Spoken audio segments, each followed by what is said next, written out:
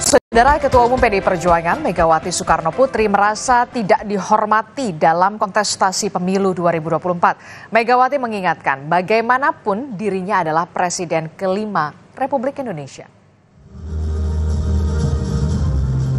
Di hadapan peserta Rakornas Relawan Ganjar Mahfud, Sepulau Jawa di G Expo Kemayoran Jakarta, Megawati mengaku nuraninya selama ini masih terbuka dan juga sedih melihat situasi persaingan di pemilu 2024. Megawati menegaskan meski perempuan, ia adalah orang yang tangguh dan petarung sejati seperti lambang banteng pada partainya. Mega menyebut siap bersaing pada pemilu 2024 dari empat partai politik pengusung. Saya akan dihormati ya. Loh,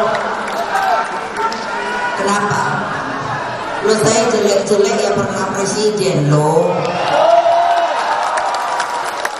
Dan masih diakui dengan nama presiden kelima Republik Indonesia loh.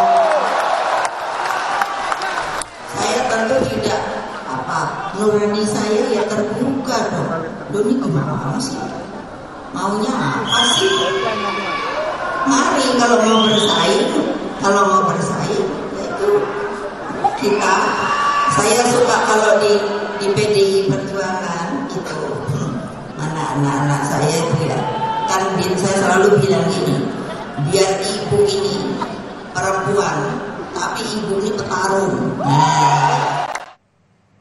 Ya, Megawati juga mengingatkan Republik Indonesia dibangun dengan penuh pengorbanan. Ia pun menyebut yang baru berkuasa mau bertindak seperti zaman Orde Baru.